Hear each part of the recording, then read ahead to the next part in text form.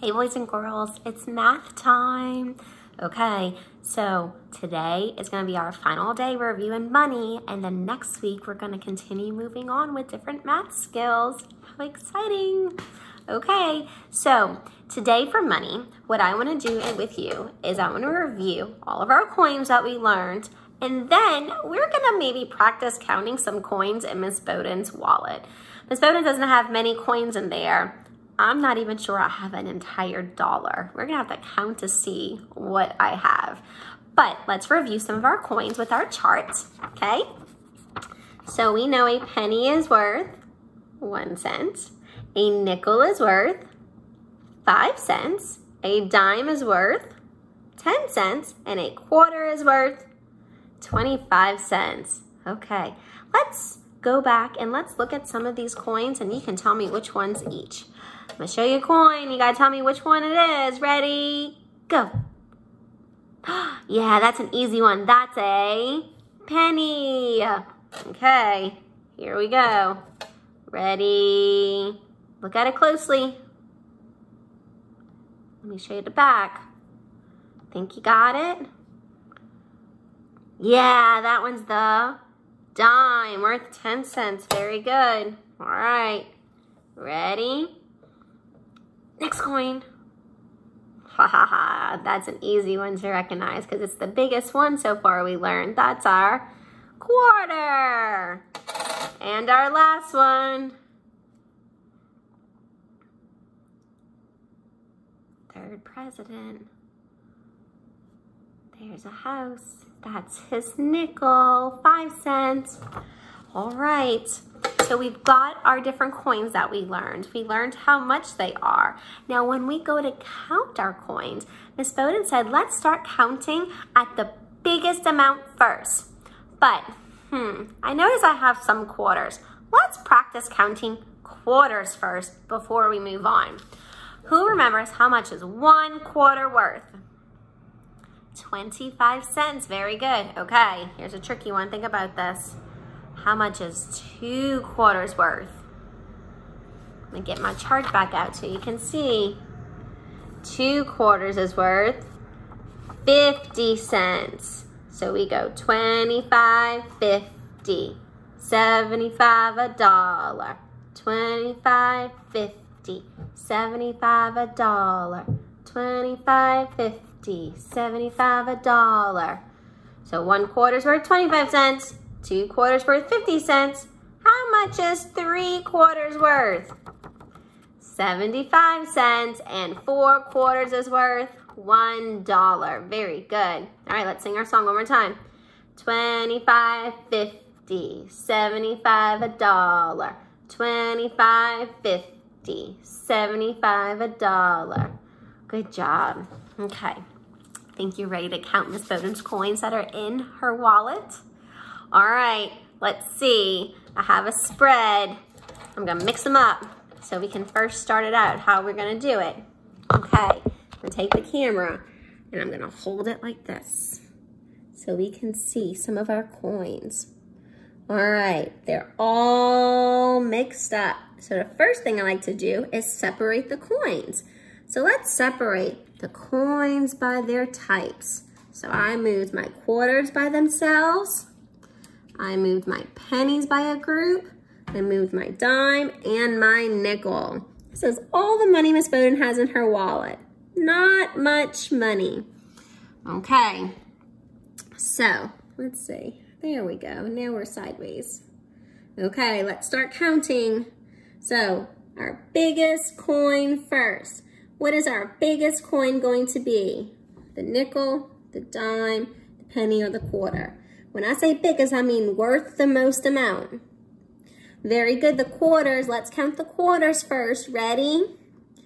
25, 50, 75. Oh, do I have the fourth one to make a dollar?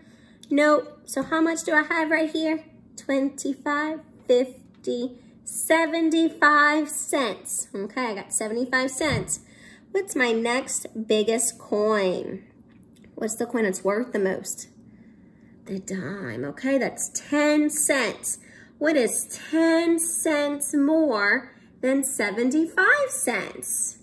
75 plus 10 makes 85. Very good. 75, 85. Okay, let's go to the next coin. Penny or nickel. Very good, nickel, because that's worth 5 cents. So I have 25, 50, 75, 85. 85 plus 5 90, very good. Then we move on to our pennies. 91, 92, 93, 94. Miss Baudin has 94 cents in her wallet. Very good, guys, counting with me. I hope you were able to count that going along with Miss Baudin. Okay, so I have 94 cents, but do you see how we like to count? We start with the biggest coin first. I separate them all, I start with the biggest coin. It makes it so much easier to count the same amount of coins together. So you continue counting in that same pattern. All right, here are gonna be your money worksheets for today.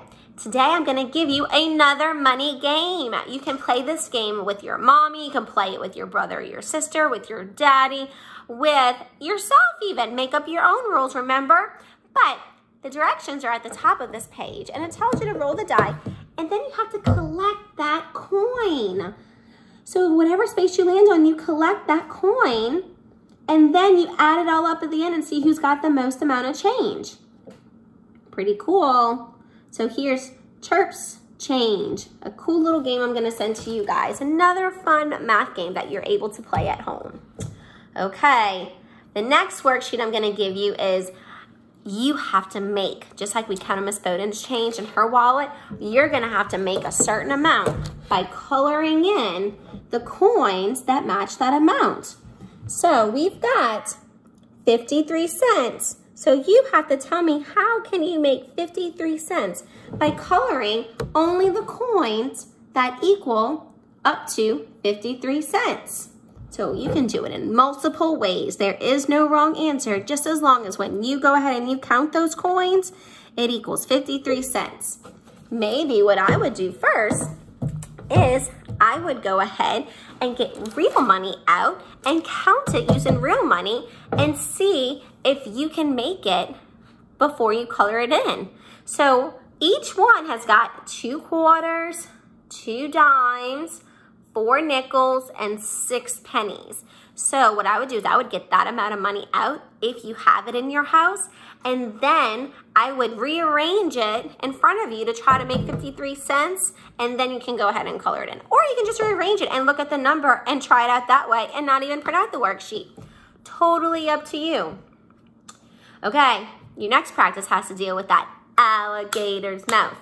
So what we're doing is we're taking the coins that we learned and we're comparing the coin to see which one is bigger and which one the alligator's mouth is going to eat.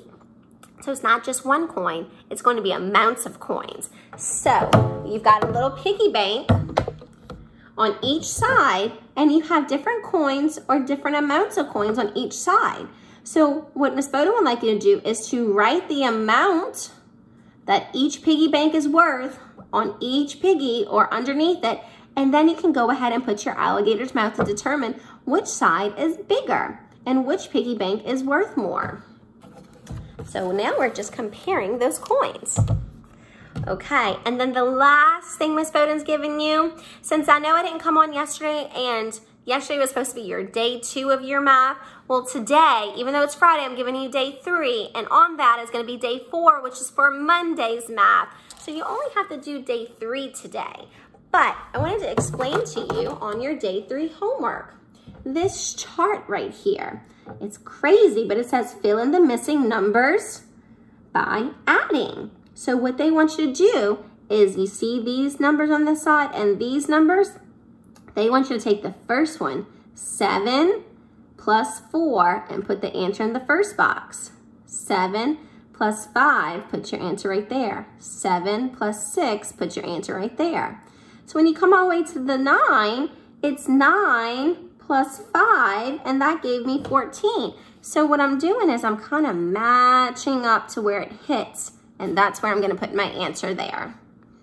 Other than that, everything else is kind of self-explanatory for you to do for your homework.